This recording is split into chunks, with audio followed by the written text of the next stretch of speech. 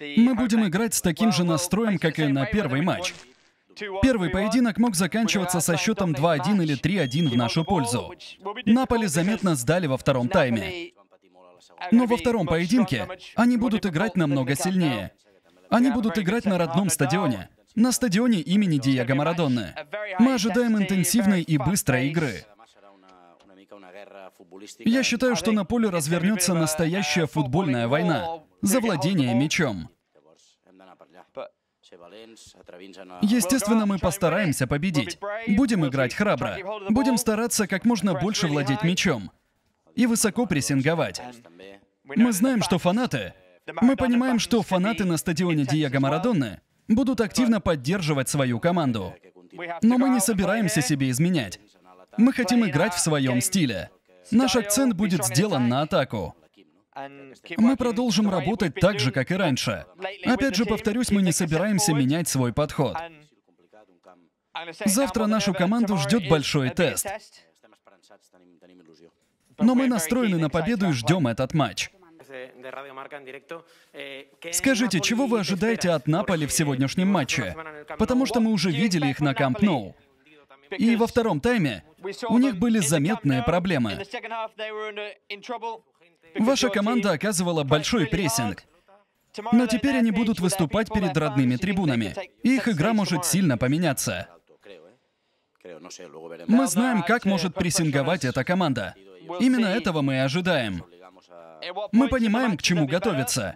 Наш план заключается в том, чтобы оказывать давление на их команду. Мы хотим доминировать в этом поединке. Опять же, мы понимаем, что это непростая задача. Потому что Наполи — это хорошо физически подготовленная команда. На поле будет настоящая битва. За владение мячом и за позиции. Нам нужно отвоевать большее количество территорий на поле. В Лиге Европы это непросто, особенно против Наполи. Как я и говорил перед прошлым матчем, Наполи — это команда уровня Лиги Чемпионов. Это серьезное для нас испытание. И хорошая возможность показать, что Барселона может играть в Лиге Европы против серьезных соперников. Вы несколько раз упомянули название стадиона Наполи. Стадион имени Диего Марадонны.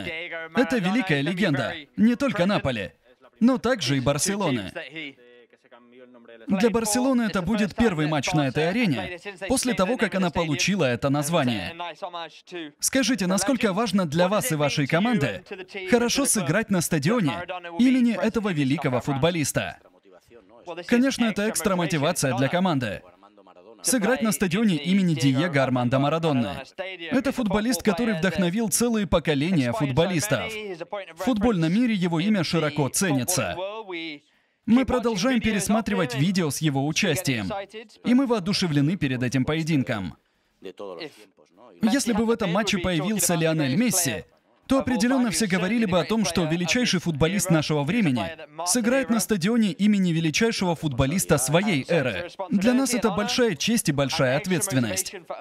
И, конечно же, мы хотим отыграть как можно лучше на стадионе имени Диего Армандо Марадонны.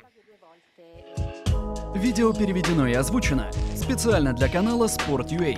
Подписывайся и жми колокольчик, чтобы не пропускать новые ролики.